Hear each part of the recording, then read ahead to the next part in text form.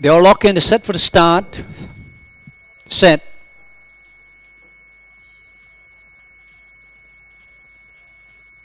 Gates open, they are racing. A good even dispatch. Beauty Aurora dash the front is Crystal Chips in in front.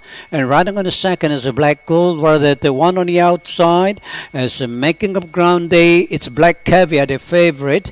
And along the outside, Red Blade together with uh, Putra, Putri Santubong in the center. And on the outside, Putra Borneo brings up the race. The race past the first uh, bend in front. It's uh, Crystal Chips and round seven Black Caviar showing speed. Then followed by the inside, it's a Lucky Lady making up ground tremendously along the outside. They straighten up for a home turn. Uh, 400 meters left to run.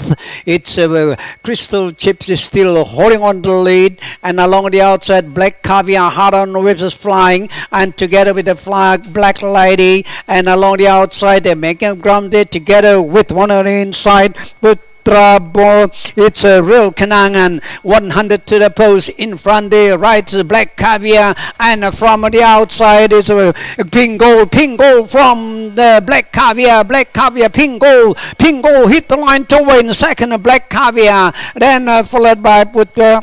Putra, well, it's Putri Vitality Lady. And uh, further back on the inside, uh, Beauty Aurora. Then come Putra Borneo. And together with the Red Blade and Black uh, Beauty along the outside, so Sputri Santubong, uh, then come one on the outside there, it's a Shining Star, and uh, last of all is Putra Wahui.